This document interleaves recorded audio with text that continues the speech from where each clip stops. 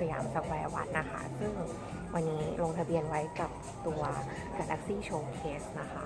ก็นี่เลยตัว Galaxy S7 นะคะ ได้ลองก่อนสรยุทธ์ได้ลองก่อนสื่อมวลชนนะคะ แต่ว่าอาจจะไม่ทันรอบที่เป็นบล็อกเกอร์นะคะแล้ววันนี้ คือเปิดโอกาสให้กับคนที่สนใจลงทะเบียนมาทางเว็บไซต์ แล้วก็ได้มาที่ตัวตรงสยามสแควร์วันที่เป็น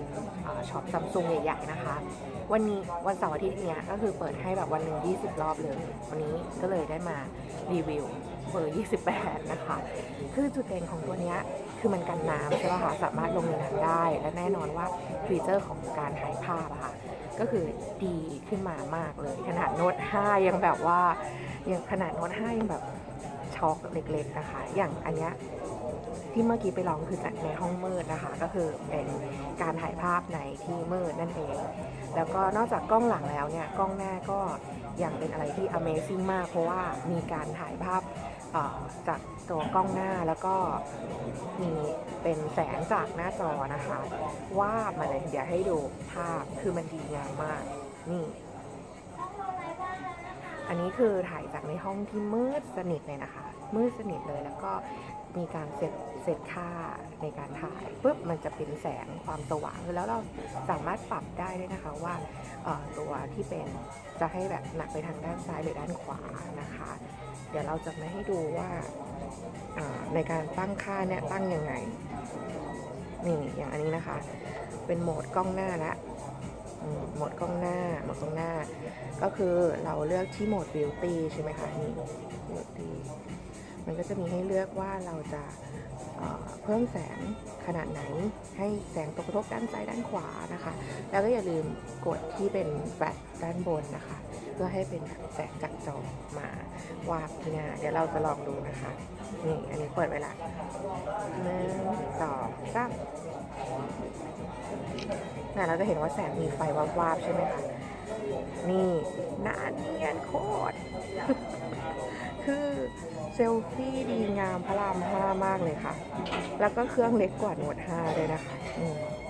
คือตอนนี้คือแบบรอบกิจกรจรริมงรอบจังนี้มากใกล้จะหมดเวลาแล้วนี่นะใกล้หมดเวลาแล้ว เอาเป็นว่าตอนนี้นะคะมันไม่ท่าถ่านใดยที่สนรีใจวิวเพียงในเท่านี้ส่ก่วอนนของ Samsung Galaxy S7 ของเราค่ะคุณสามารถที่จะติดตามข่าวสารเพิ่มเติมได้เลยนะคะ ที่ Facebook หรือว่าเว็บไซต์ของทาง Samsung ได้ค่ะชอบอะแล้วก็อีกอันหนึงเดี๋ยวให้ดู เดี๋ยวให้ดูเป็นตัว เอ่อ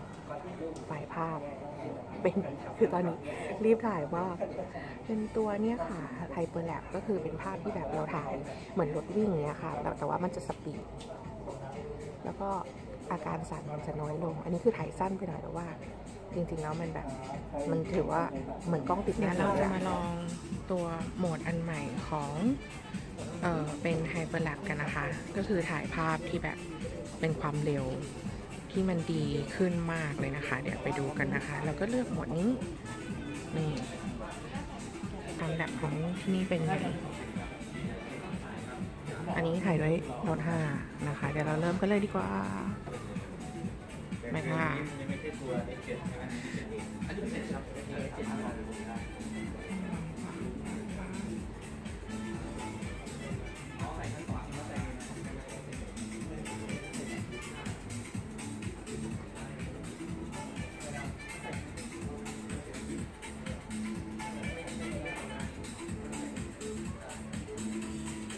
เดี๋ยวเรามาดูภาพที่ได้กันนะคะว่าเป็นยังไง